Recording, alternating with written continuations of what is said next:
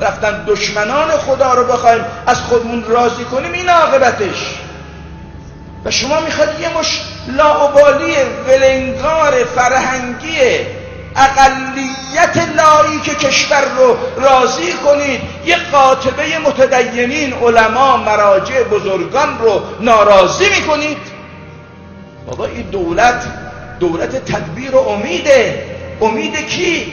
امید بیدین ها یعنی علما ناامید بشن یعنی متدینین ناامید بشن. فقط امیدی که آوردید برای بیدین ها آوردید که با این مسببات اونها خوشحال بشن.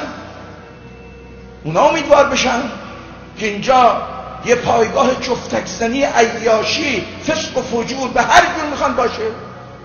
باید اونا رو راضی کنیم ما.